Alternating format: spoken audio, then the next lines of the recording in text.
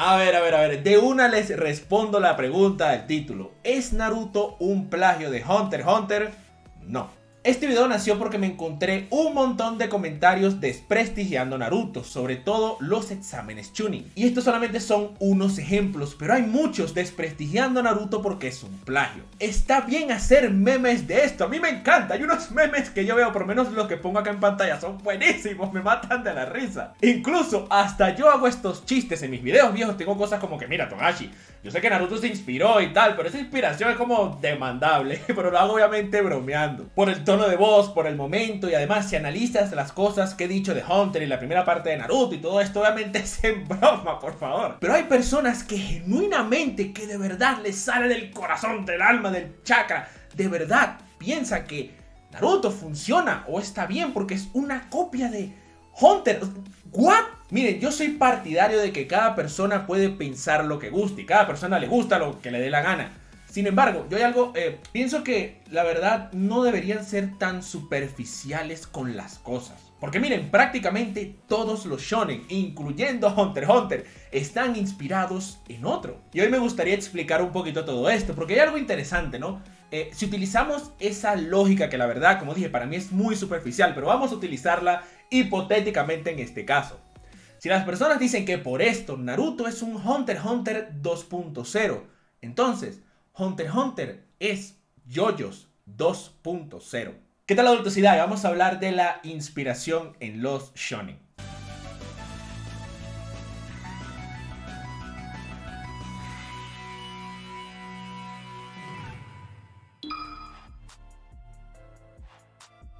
Ok, antes de empezar, este video no pretende ver cuál es mejor porque obviamente es Hunter por donde lo veas. Aunque bueno, aún no ha terminado, ¿eh? Uno nunca sabe porque el final es importante. Pero de lo que lleva pues sí, es superior y de lejos. De eso no se trata este video, vamos a calmarnos, vamos a calmar. Esto trata de lo siguiente. Definamos de forma sencilla lo que es un shonen de peleas, o mejor dicho, la característica más resaltante que los une a todos, pues son aquellos que cuentan con algún tipo de energía vital, o algún objeto que les dé habilidades sobrehumanas, para que puedan aplicar en combate. En esta área todos comparten esta estructura, es decir, los personajes logran tener acceso a la energía o a lo que sea, la trabajan, la mejoran y se hacen más fuertes, y ya está. Esto está en Dragon Ball, en Naruto, Hunter, Bleach, Black Clover, Fairy Tail, podría estar aquí todo el día diciéndoles nombres. Ahora, si todos siguen la misma base que acabo de mencionar, ¿Por qué resultan tan diferentes? O más bien, ¿por qué nos gustan unos y otros no? Por lo que hace el mangaka con esa base. Todos los de este género de una u otra forma están inspirados en el trabajo de otros. Esto en los shonen es mega evidente, pero no es algo que solamente se ve acá. Cosas como la música tiene mucho de esto. Tipo, ¿cuál es la inspiración o la influencia de X banda? O X músico es algo normal. No porque toques rock, siguiendo la base estructural de dicho género, quiere decir que le haces plagio a todos los demás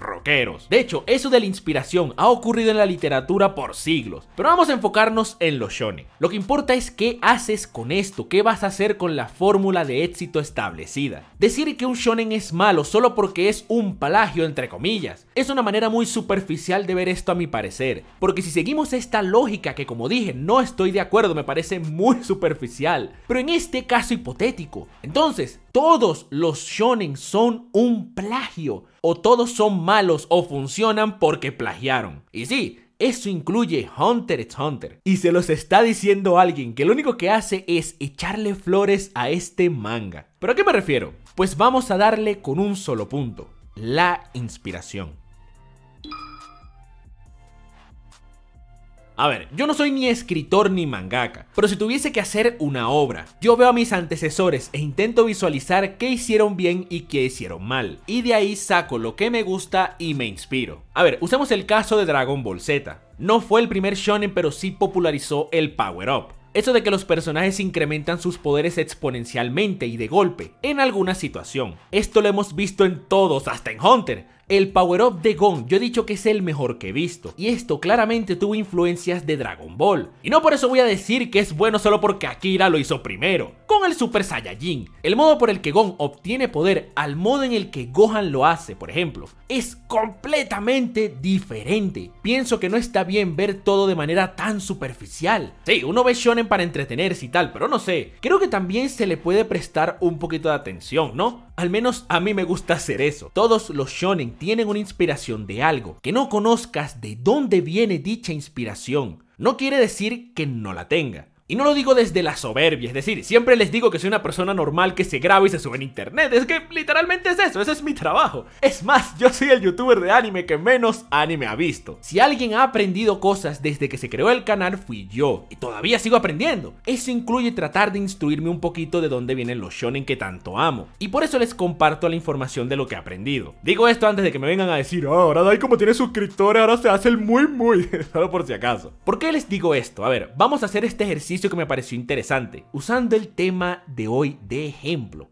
¿Qué es lo que hace bueno a Hunter x Hunter? Pues obviamente la increíble narrativa de Togashi, obviamente. Pero esta narrativa la crea con el Nen. El Nen lo es todo en esta serie. Sin el Nen, Hunter no sería ni la mitad de lo buena que es. Y creo que todos estamos claros con eso. A ver, ¿y de dónde se inspiró Togashi para hacer el Nen? De Yoyos. Sí, la serie esa de los tipos musculosos. En JoJo's hay algo llamado los stands, una habilidad que depende de la personalidad y características de cada individuo. Naces con un estilo particular que toma en cuenta las características de tu alma, por decirlo de forma poética. Eso quiere decir que tus poderes son una representación de quién eres. Y eso es el Nen, es el Hatsu. Los stands son la inspiración directa que usó Togashi para crear el Nen. Y esta es la base de esta serie, la razón por la que Hunter es tan bueno. Entonces, ¿quiere decir que es un plagio y solo es bueno por esto? Pues miren, bajo la lógica que estamos usando hipotéticamente, pues sí,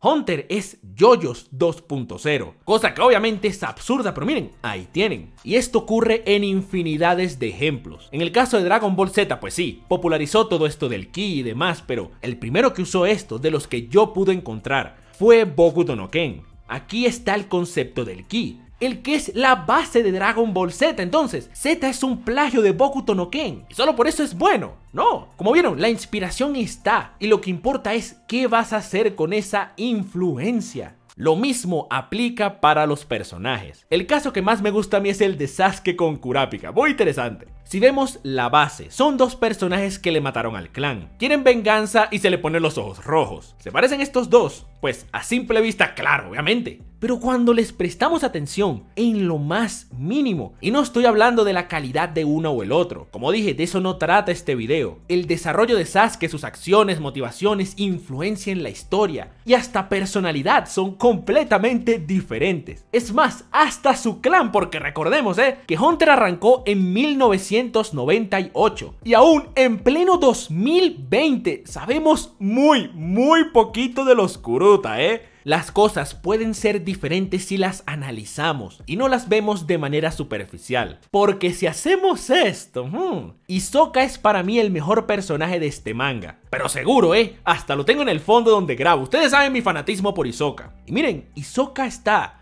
directamente inspirado del Joker. Porque miren, una especie de mago con influencias de payaso que utiliza maquillaje artístico para expresarse, con un color peculiar de cabello, se presenta y realiza actos utilizando naipes le da prioridad a sus deseos personales y no le importa las consecuencias sociales que puede traer. De hecho, su función en la historia es salir del sistema, causar caos y ser un comodín, nunca mejor utilizada la palabra, para la trama. Miren todos los elementos que tiene Isoka en común con el Guasón, son muchos más que los de Sasuke con Kurapika. Entonces, Isoka, uno de los mejores personajes de este manga, es un Joker sacado de yoyos es más, hasta hace poses de yoyos, ¿eh? Porque miren, tiene la apariencia, la temática y a simple vista la misma motivación. Eso es lo que usan cuando comparan a Sasuke con el Kurama rubio. Bajo esa tonta lógica, pues sí, miren, Hisoka es un plagio. Pero analizándolo, en lo absoluto es absurdo. Son completamente diferentes. Lo mismo con el examen del cazador y los exámenes tuning. Superficialmente es una prueba que se realiza en parte en un bosque, pero son completamente diferentes. Mientras una sirve para introducir al manga, el examen tuning está lleno de contenido.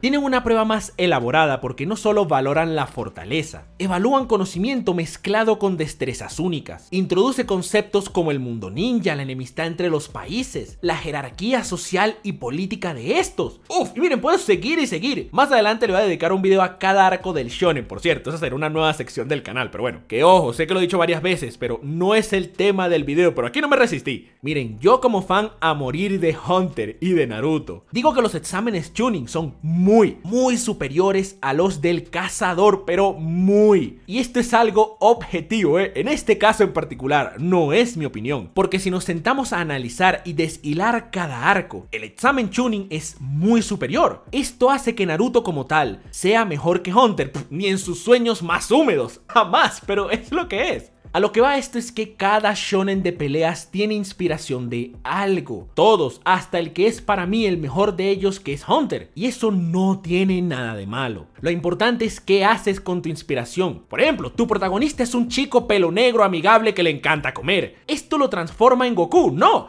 porque Luffy es muy diferente aunque fue inspirado en Goku el torneo de Yu Yu Hakusho es espectacular y claramente fue inspirado en el torneo de las artes marciales de Dragon Ball. ¿Significa que Yu Yu Hakusho o todos los shonen que tienen un torneo entonces son malos o plagiados y demás? Por favor. Y Dragon Ball agarró este torneo pues de la vida real, porque eso se celebra en las artes marciales. Es más, el mismo Dragon Ball, es decir, Goku, arranca de la inspiración de Sun Wukong, un personaje de una novela china del siglo XVI llamada Viaje al Oeste. Sun Wukong es un mono que pelea con un báculo y se transporta en una nube voladora. ¿Le suena familiar? ¿Dragon Ball es malo o funciona solo por esto? No. Y así como esto, todos sus shonen de peleas favoritos tienen inspiración de algo. No por eso son malos, no por eso son un plagio y no por eso son buenos. Sea cual sea tu juicio, lo que pienses de ellos, si te gusta o no te gusta, nace es por cómo desarrolla el autor su concepto. ¿Qué es lo que hace con esto? Si hay una distintiva suficiente, donde no se copie el contenido de otro, siempre que te hayas inspirado en alguien pero no utilices sus creaciones y le des un giro suficiente como para que las personas vean tu trabajo y no digan, hey, pensé que eras tal, o hey, pensé que era el trabajo de tal de Togashi. En los shonen ya está, esto funciona, es suficiente. Por eso los shonen modernos pueden ser clichés, es más, es difícil que no lo sean porque la fórmula está bastante explotada. Y eso no tiene nada de malo, lo importante es qué haces con esa inspiración. Porque como dije, todos los shonen de pelea tienen inspiraciones directas y clarísimas de otros, sea cual sea. Que no conozcas de dónde se inspiró no quiere decir que no lo haya hecho.